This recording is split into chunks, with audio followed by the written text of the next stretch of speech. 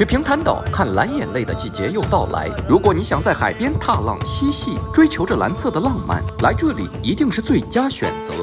这里的山海之景、自驾公路以及那海上风车，都是来这里旅行的充分理由。今天我们就来看一看平潭岛的美景究竟如何，又是否值得一去。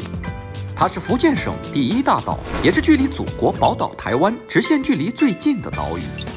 平潭县便位于其中，我们可以乘高铁直达平潭，选择租赁汽车或电动车的方式进行游玩。我们现在所看到的是平潭岛上主要景区的分布以及自驾路线，大致以平潭县城区为界，游览路线分为南线和北线。首先，我们来看一看北线的风光。来到这里，可以选择在平潭县主城区周围入住，这里配套设施齐全，交通也相当便利。接下来开启我们的行程。首先，我们将来到离平潭城区最近的龙凤头沙滩。沙滩长约十公里，也是我国著名的海滨浴场。沙滩平缓，沙质细腻，也是平潭岛欣赏日出日落的绝佳观景点。我们继续前行，下一站将来到平潭岛上标志性的景观之一——仙人井，一处鬼斧神工的海蚀地貌，形如巨井，呈圆筒状，口径五十余米，深约四十余米，也是难得一见的自然奇观。离开仙人井，我们继续折返向东前行，也将驶入平潭岛最美环岛公路路段。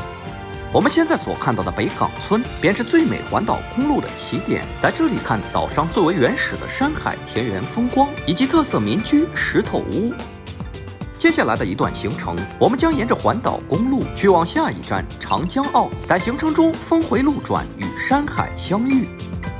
前方不远的地方，便是最美环海公路路段的终点长江澳。来这里打卡海上风车之景，这里也是平潭岛三大海滨沙滩之一。接下来，我们将进入平潭岛另一处绝美的滨海公路——平潭岛北部生态廊道，与一众绝美的滨海渔村邂逅。沿着蜿蜒盘旋的公路前行，领略平潭岛的生态之美。如果时间充裕，可以前往石牌洋进行参观游览，随后导航平潭县返程。接下来，我们将游览南线。首先，我们将去往六十八海里，也就是平潭岛本岛，距离祖国宝岛台湾直线距离最近的地方。两者之间相距仅六十八海里，约等于一百二十六公里，也是一处十分具有纪念意义的打卡地。接下来，我们再次折返平潭县，紧接着向南前行。首先，我们会途经海坛古城。如果对当地美食、人文特色感兴趣的朋友，时间充裕，可以到此一游。离开海坛古城，我们继续前行，下一站将抵达潭南湾。沙滩长约二十二公里，被誉为“白金海滩”。这里海水清澈，十里平沙，风清浪柔，潮声如月，自然景观媲美龙凤头沙滩。离开潭南湾，我们将去往将军山，在山巅俯瞰平潭海岸之景。这里山势临海而起，险峻陡峭，巨岩交错，也是平潭岛上极具观赏性的山景。下一站，我们将去往平潭岛上热门打卡点象鼻湾，一处天然细长的拖尾沙滩，因形似象鼻而得名，也是来到平潭岛必看的自然景观之一。